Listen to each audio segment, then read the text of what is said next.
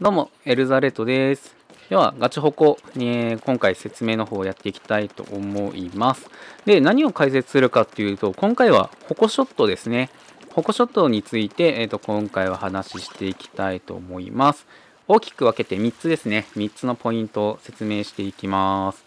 では、早速いきましょうか。まず、えーと、ポイント1です。ポイント1は、えーと高台ですね、に置き打ちをするっていうことについて話をしていきたいと思います。じゃあどういったことかっていうことなんですけど、まあ、矛持ち、基本的に矛ショットをすることはせず、こうやって運ぶのが一番なんですけど、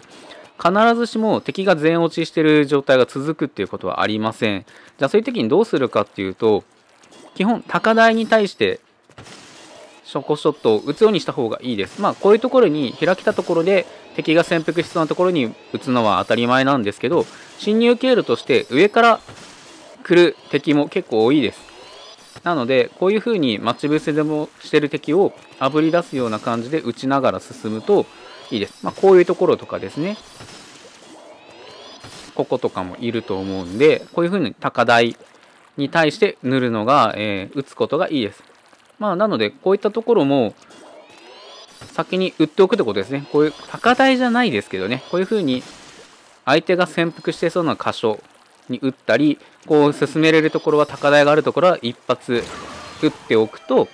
あの警戒ができますので、えー、そうですね、高台に置き打ちするっていうことも覚えておいてください。まあでも、優先は運ぶことになりますので、運び優先で大丈夫です。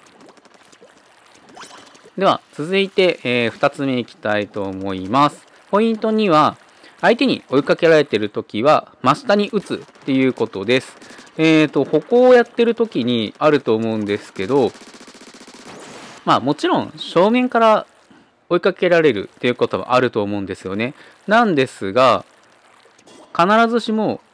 正面だけじゃないですよね。ってなった時に、後ろから追っかけられる。まあ後ろからここを追っかけられてると仮定しましょう。という時に、単純に打って進むっていうだけだと、もちろん、あの、一足、イカ足積んでないとスピードが落ちてるので、あの、すぐ捕まります。でどうするのかっていうと、もう見つかったと思ったら、まあ、真下に打ってしまって、こう、矛の、矛ショットで、あの、壁を作ってください。自分の後ろに。爆風のバリアですね。ただこれ、慣れてないとこういう風にイカになったタイミングでキャンセルされるので、打ったのを確認してから必ずすぐイカになるっていう、実はちょっとテクニックが必要です。で、どうやったら一番いいかっていうと、後ろにこう向いて打つのが一番いいです。後ろに向いて前に進むっていうのが、えっ、ー、と、一番、実はうしえー、反動が最低限で抑えられて、かつ、そうですね、その反動で若干前に進むので、あの、意外と真後ろに打つっていうのがいいです。真下じゃなくて真後ろですね。じゃあ、ちょっとやってみましょうか。えーと、ここで打った場合で、やっぱこうですよね。なんですけど、打ったハンドル後ろ下がるので、こうやって進めるんですよ。なので、このちょっと反動さえも、あの、カウントに生かすっていうかね、っていう風にすると、移動が速度が上がりますので、えー、そうですね、追っかけられた時はぜひやってみてください。結局やられるんでね、1カウントでも進めるのも確かに大事なんですけど、まあ、逆、一発、そうですね、チャンス伺うのもありかなと思います。で、場所移動してきたんですけど、何の説明をポイント3でするかっていうと、一応以前でも説明してます。で、えー、ホコショットの打ち方についてなんですが、ポイント3は壁の向きを使うということです。あのー、そうですね、ホコショット、ホコショットは基本的に当たった接地面にを中心に爆発を起こします。だからそういう時どどうなるかっていうと、この溜めてる時にボムと同じような角度の取り方なんですが、同じこの角度、角を狙うにしても若干ずれると横向きになります。じゃあやってみましょうか。となると、あの出発点が変わるので、爆発の与える影響が変わります。やっぱここ、こっち向きだと、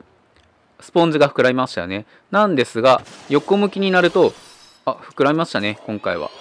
当てる箇所によって、えーと、向きが変わります。でも、下のインク見てもらうと、左側に行ってますよね。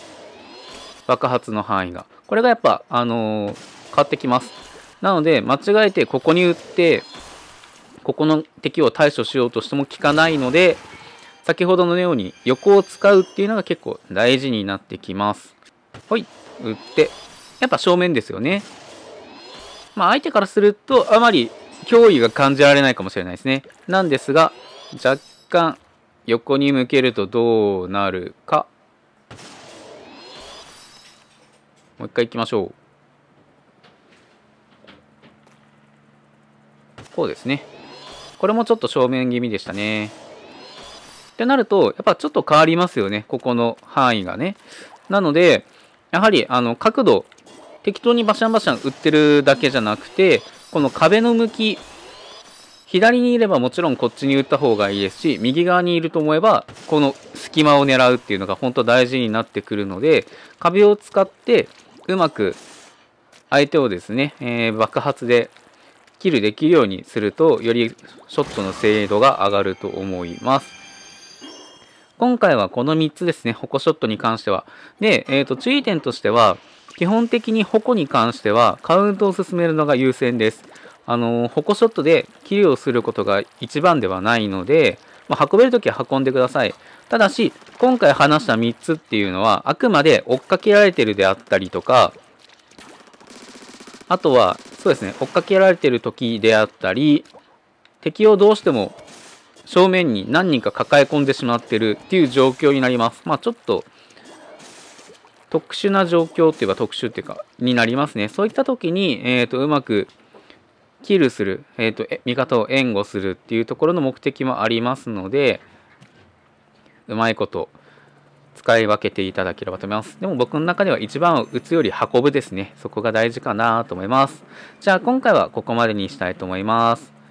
そうですね。あの、高評価とチャンネル登録の方もぜひよろしくお願いします。それじゃあ、またね